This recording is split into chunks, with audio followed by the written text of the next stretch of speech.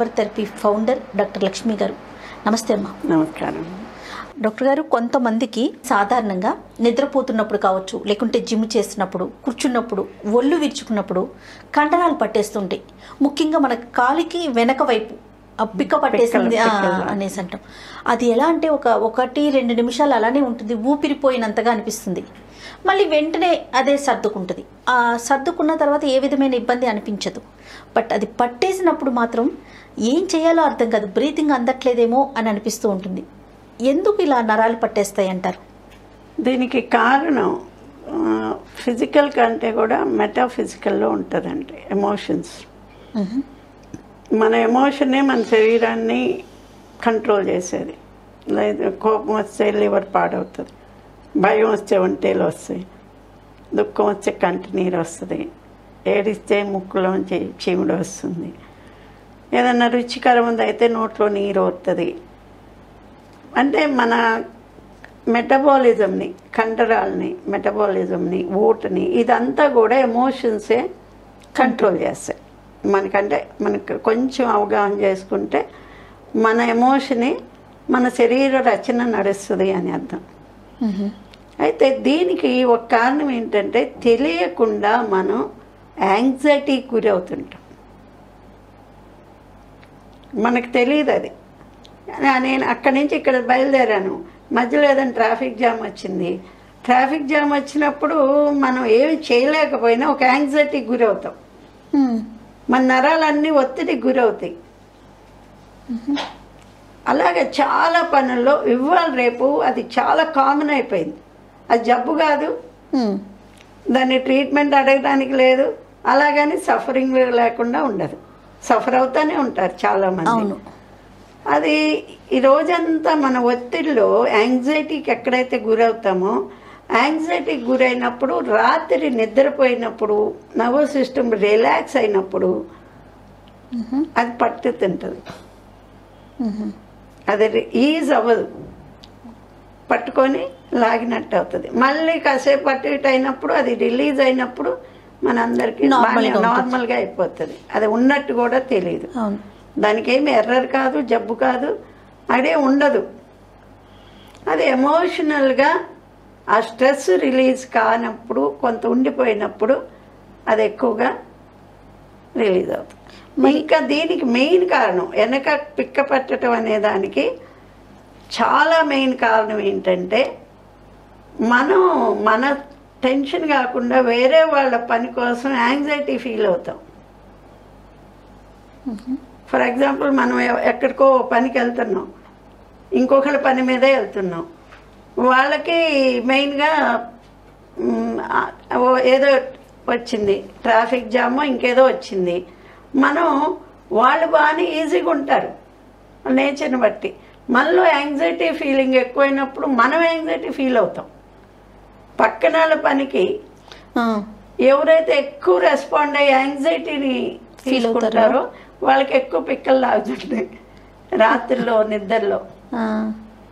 ఈ side bones పట్టేస్తూ ఉంటాయి. ఇవన్నీ తర్వాత ఏంటంటే వేలు మన కాలి వేళ్ళు ఆ నరం వేలు కొంగర్లు పోతున్నట్లుగా ఇట్లా కిందకి వెళ్ళిపోతున్నట్లు అట్లా. ఏంటంటే మెయిన్గా మీకు న్యూరాన్స్ రిలాక్స్ కాకపోవటం. అంతే.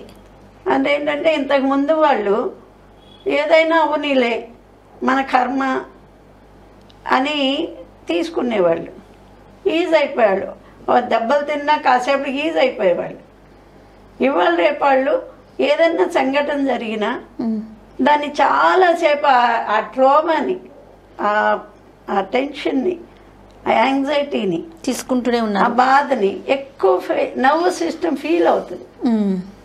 ఆ నర్వ్ సిస్టమ్ ఫీల్ అయితే అది తొందరగా అంటే నిద్రలోనూ ఒళ్ళు మలిసి రిలాక్స్ అయినప్పుడే అది రిలీజ్ చేసుకోగలుగుతుంది నిద్ర భగవంతుడు ఎందుకు పెట్టంటే మన నర్వ్ సిస్టమ్ స్ట్రెస్ పట్టుకొని ఉన్నది రిలీజ్ చేయటానికి.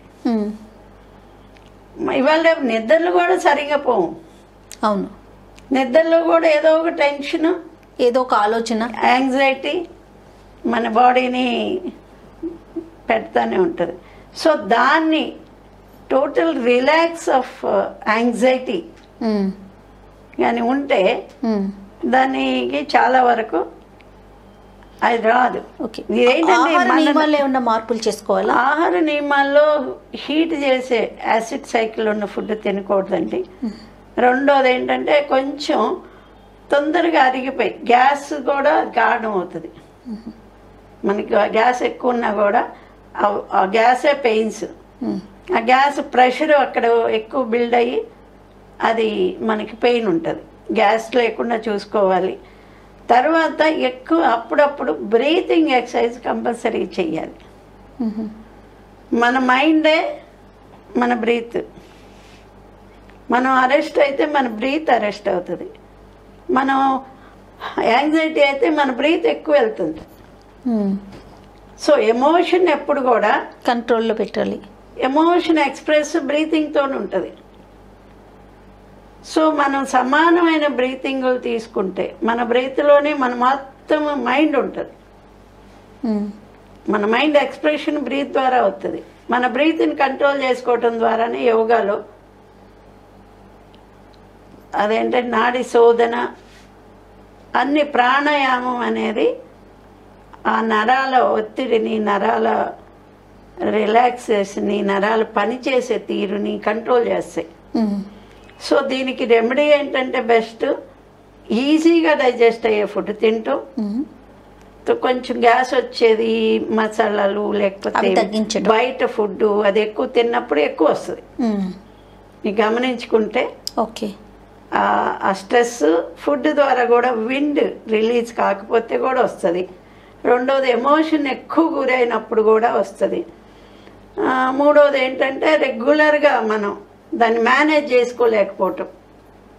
మన యాంగ్జైటీ టెన్షన్ వర్క్ మన స్ట్రెస్ మనం ఎక్కువ ఫీల్ అయ్యి ఇదంతా చెయ్యాలనుకుంటాం మన శరీరం అక్కడ రెసిస్ట్ చేస్తుంది. సహకరించదు. శరీరం సహకరి సహకారంతో పనులు చేస్తే అవి ఇలాంటివి రావు.